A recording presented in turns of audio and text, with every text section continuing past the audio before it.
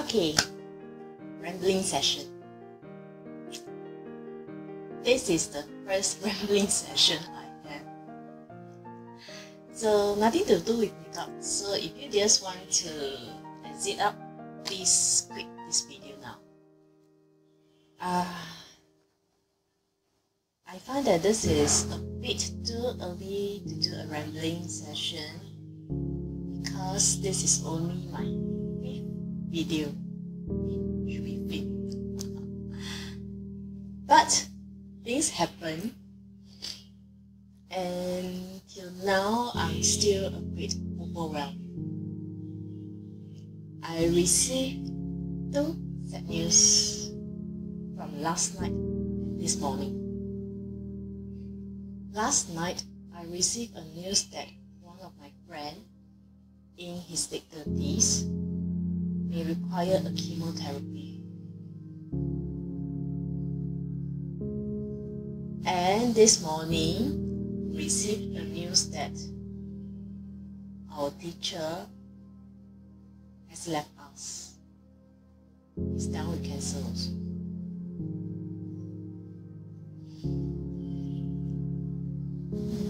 I don't know why this year there are some of my friends are down with cancer and they are in their 30s or 40s. And some passed away. It triggered a lot of thoughts in me. And today I just like to share one thought over here. I was thinking before I know their condition, I realized that they have a sudden weight loss. So this is kind of also related to the beauty because we girls just like to be as slim as possible, isn't it? At least for me. For being pots like me, I always want to look good and always want to be as as possible. I always complain that I'm fat, and yet at the same time, I cannot resist good food. so that's why I can never slim down, and I deserve it. I know. And I don't exercise. Oh no!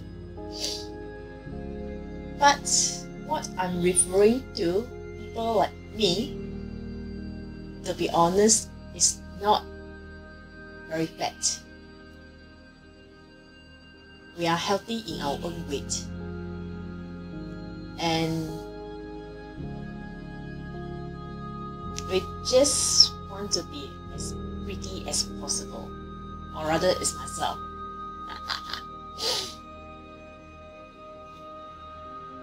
I mean, I was thinking if I am my friends who suffer from a sudden weight loss, of course, this is only my assumption. I think they will rather want back their original weight because that would mean health for them. So I was thinking, what's the rationale for me to keep wanting to lose weight? or the beauty sick. Mm-hmm. I never thought that can my body take the weight loss unnecessarily and does my body wants it? I never think in this way. It's all about me who want this right now. And am I blindly following a certain beauty trend? Maybe I am. And who set this beauty trend? What's the rationale for this beauty trend?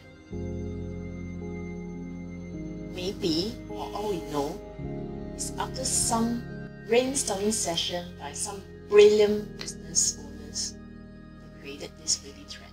I don't know. Again,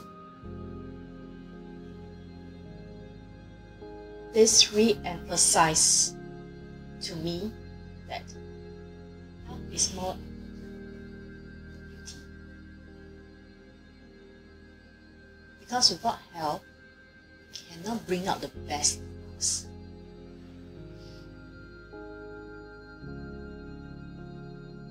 I don't know whether you all have the same feeling as me that when we are down with illnesses or suffering from pain,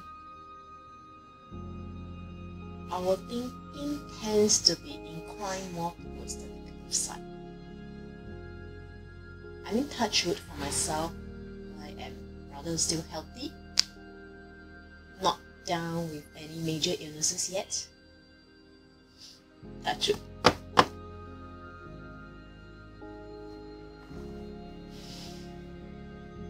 I think if I ever strike with major illnesses, concern is not about makeup. It's not really into beauty. It's more of whether I can survive. So what I want to say is to be a true beauty for me doesn't just consist of this external look Yes, this external look is very important because we feel good, we look good. Actually, should be we look good, we feel good, and when we feel good, we look good. it's a cycle. But I think health also contributes to our beauty because without the health, it tends to be very negative people don't like negative people because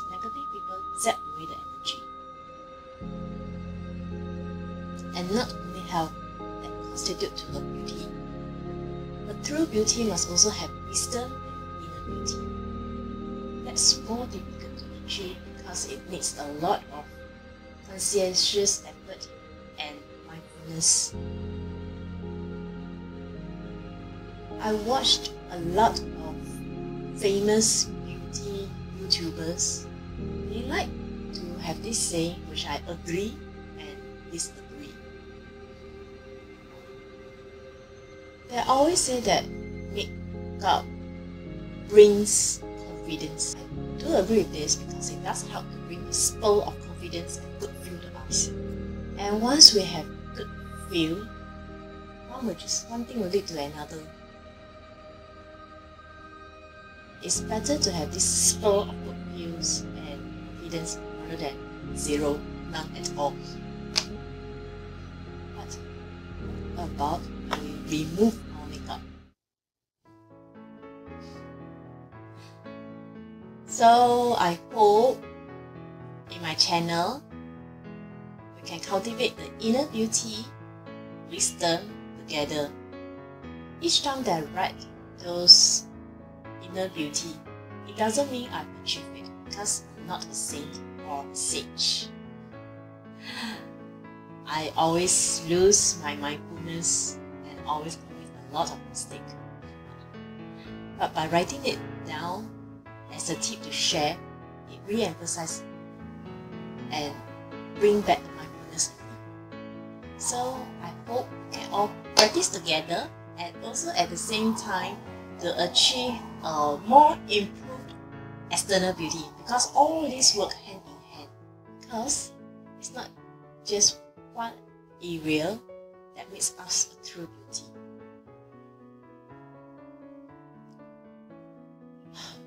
So I hope we dears really know what is healthy and good for us and not blindly chase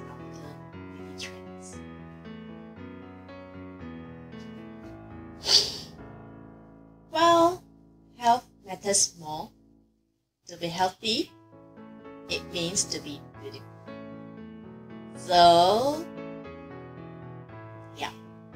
I hope if you stay throughout this video,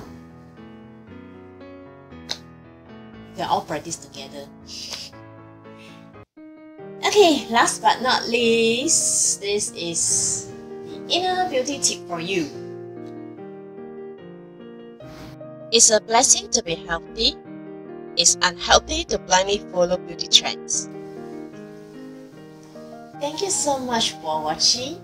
If you just like this video, please help me to subscribe my channel, give me a thumbs up, and also comment in the comment section. Thank you very much for your help. You dears have a peaceful, blissful, and joyful week ahead. See you next time. Bye!